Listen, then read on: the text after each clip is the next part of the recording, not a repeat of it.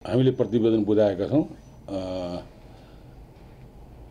BP Koirala प्रतिष्ठानलाई लिएर आयोग बन्नुको अर्थ नै त्यहाँ केही न केही समस्या थियो भन्ने कुरो त आयोग बन्नुबाट नै पुष्टि हुन्छ।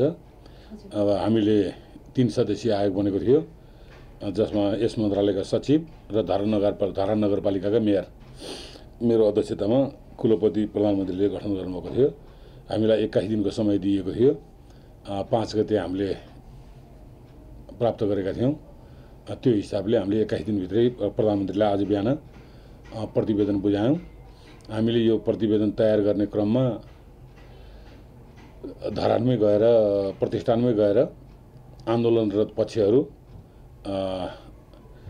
त्यहाँका पदाधिकारी जसको विरुद्धमा आन्दोलन भएको थियो पदाधिकारीहरू त्यहाँका विद्यार्थी र शिक्षकहरू कर्मचारीहरू अनि धरान नगरपालिकाको हलमा मेयरसहित त्यहाँका जनप्रतिनिधि विभिन्न पार्टीका प्रतिनिधि मिडियाका साथीहरू र यो धरानको विषयलाई लिएर आन्दोलनरत सरोकार समाज भनौँ जसमा त्यस्तै केही नाम राखिएको थियो उनीहरूसँग पनि हामीले सबैसँग कुरो बुझेपछि हामीले उहाँहरूको राय र उहाँहरूले भनेका विषयवस्तुलाई पनि समेटेर र स्पष्टीकरणको पूर्ण अवसर दिएर हामीले जे देखेका छौँ त्यसलाई हामीले प्रतिवेदनमा उल्लेख गरेका छौँ।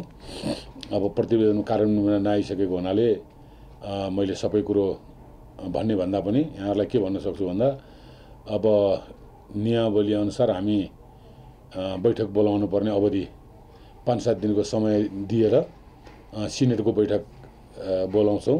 प्रधानमन्त्रीजीले बोलाउनुहुन्छ। र त्यो सिनेटको बैठकबाट यसलाई यो प्रतिवेदनलाई आधार मानेर हामी निर्णयमा पुग्छौँ। निष्कर्ष हामीले प्रतिवेदनमा दिएका छौँ। अनि भन्न मिल्ने भन्दा पनि अहिले तपाईँहरूले बाहिर जे सुन्नु भएको छ हामीले त्यहाँ म त्यहाँ जाँदाखेरि पनि त्यही नै पायौँ। त्यसलाई नै त्यही ढङ्गबाट हामीले चाहिँ नि प्रतिवेदनमा चाहिँ नै राखेका छौँ। यसको अर्थ अब सिनेट बैठकले चाहिँ उहाँहरूलाई पदाधिकारीबाट बर्खास्ती गर्ने निर्णय हुन सक्ने सम्भावना रह्यो। सिनेटले गर्ने निर्णय तपाईँले मैले यहाँबाट अहिले नै भनिदियो भने बैठकको त